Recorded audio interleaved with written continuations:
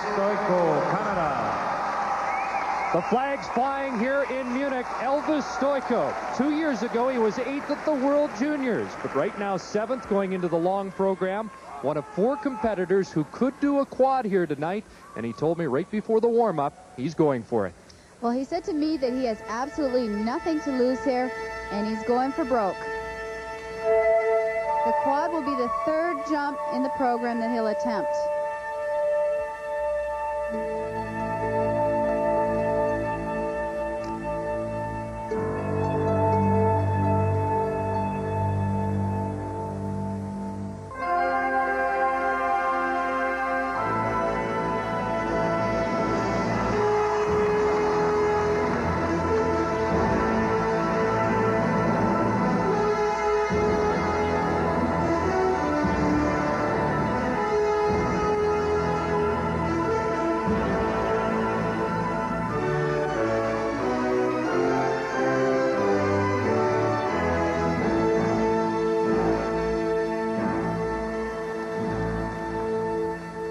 As you can see from the look on his face when he landed that, he was quite surprised. It just didn't go the way he wanted it to. I think we were looking for a triple axel there, and he just popped it into a huge single.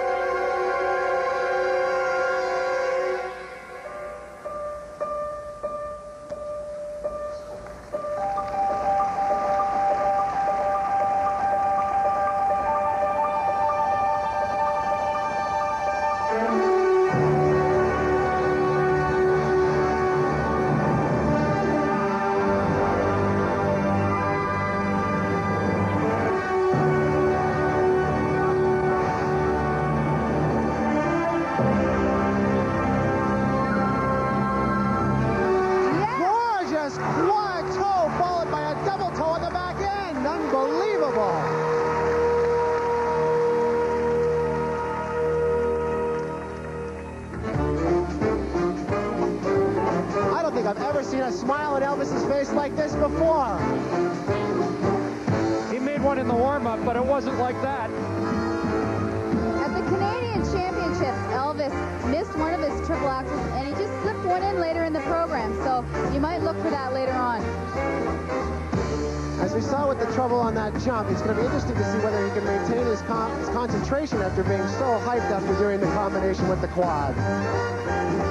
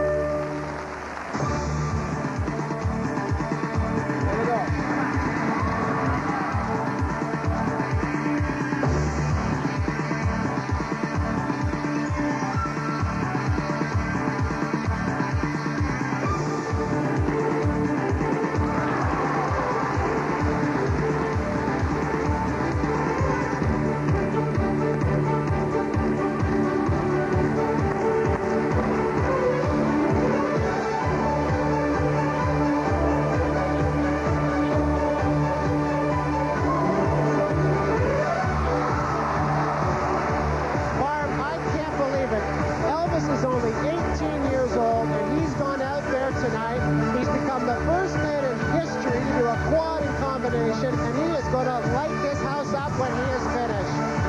Well, what I like is the program just keeps building and building.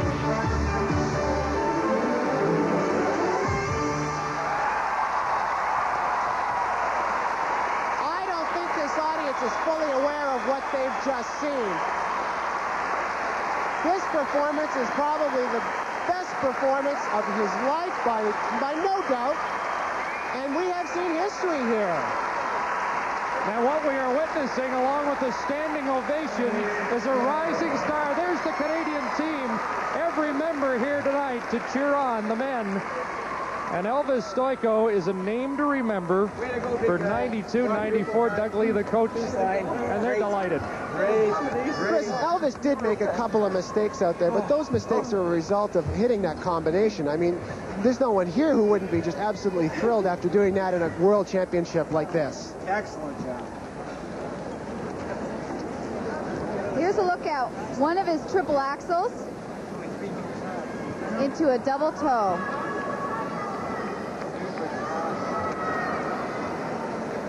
And this was this was a look at the triple axel that he that he pulled out of the second jump in the program. But he went on to to put another one in the program. And here's a look at the quad toe. Look at how low he gets on that landing. Here are the marks for technical merit, and they are good. Five fours up to a five seven from the Finnish judge. There were two mistakes, but the difficulty of the program clearly taken into consideration. Canadian judges really hard there. You can see from the smile on Doug Leigh's face that they're just ecstatic about this performance tonight. There's the second set of marks. He's hoped for more higher artistic marks, but right now Elvis Stojko of Canada has made some history, and he's in first place.